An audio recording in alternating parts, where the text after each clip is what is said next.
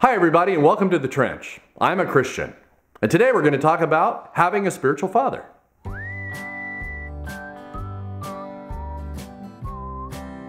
Today I'm joined by my pastor and spiritual father, Father James Coles. Say hello, Father.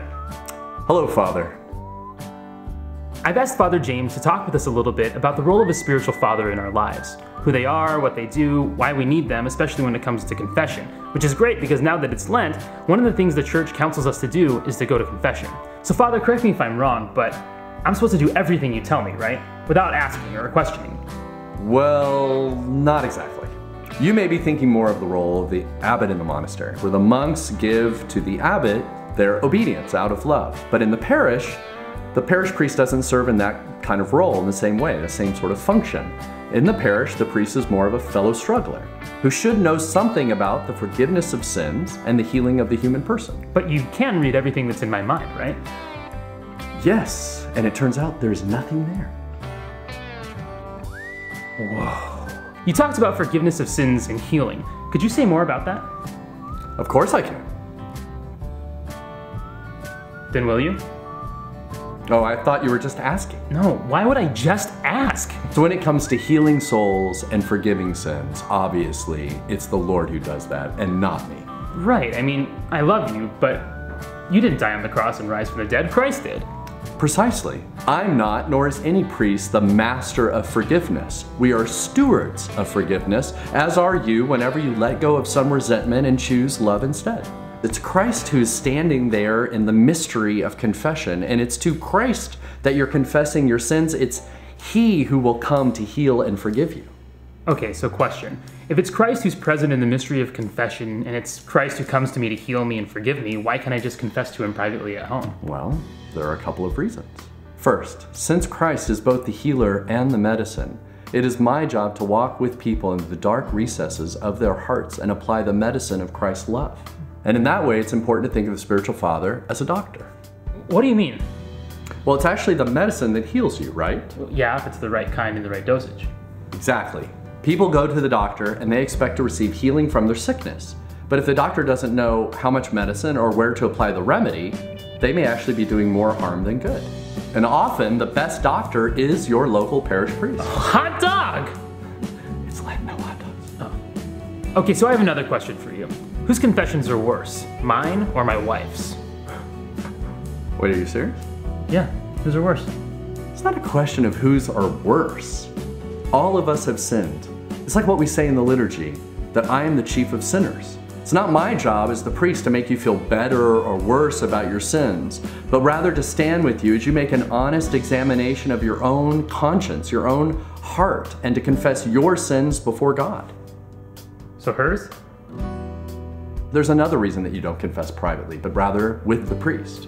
And that's so that the priest can remind you of God's love and pray the prayer of absolution. And you should know too that it is safe. The priest is strictly forbidden from ever sharing anything he hears in a confession. Oh, bummer, because I bet you guys hear some pretty juicy stuff. Well, if you think sin is juicy, then yeah. So, what have you heard in confession? The relationship with a spiritual father depends on strict confidence in confession. This keeps you safe from toxic shame over what you've done. If you're coming to confession, no matter what you confess, no matter how dark it seems, how deep you go into some kind of dark part of your heart, you need to know that you are completely safe and loved by God. Right, so then your presence in confession actually becomes healing in itself because those dark places, those things that I'm the most afraid of, that's where I most need to experience the love of God. That's right. As Father John Behr writes, to plumb the depths of our own fallenness is to scale the heights of divine love. No matter how dark it gets in our hearts or how far we think sin has actually reached, the love of God has reached further, and it's my job to tell you that. It's a pretty cool job. I agree. What's it pay? I'm not telling you that. Ultimately, the spiritual father is not a guru. The spiritual father is someone who walks with you into the depths of your heart and proclaims God's love for you. Wow, so that means that we really don't have to be afraid of confession at all, and instead see that it really is grace, that the spiritual father isn't so much a judge of our sin as much as he's a witness to our confession to Christ. That's right, and it's because the priest stands in need of the exact same forgiveness you're asking for, and that the priest, by God's grace and love, is a witness to this moment of forgiveness is only because the priest has himself received this exact same forgiveness. Having a spiritual father is important. Revealing your soul is opening yourself in vulnerability. And that's why the Father Confessor is like a doctor who should be both kind and understand the ailments of the human soul. Someone who, like you and me, has also waged war on the sin dwelling in their hearts. But it's Christ Himself who comes to us and heals us And it is the spiritual father who stands in Christ's place. and shares Christ's love for us. So join the fight.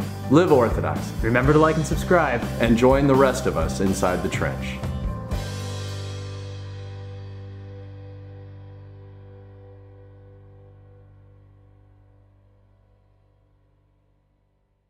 Exactly. Yes. It's the right kind and the right dosage. Exactly. Sorry. Well, yeah, if it's the right kind and the right dosage. Exactly. You I'm going to be totally fine. And it's because I've even been forgiven that I'm able to even be part of that whole secret society of forgiving people. All right, we'll do this again, how dark it may seem, or even troubling. Both dark and Troubling, it is bad, bad, bad. No matter how bad, bad, bad, bad, bad it seems. Well, I just, I wanted to capture the darkness.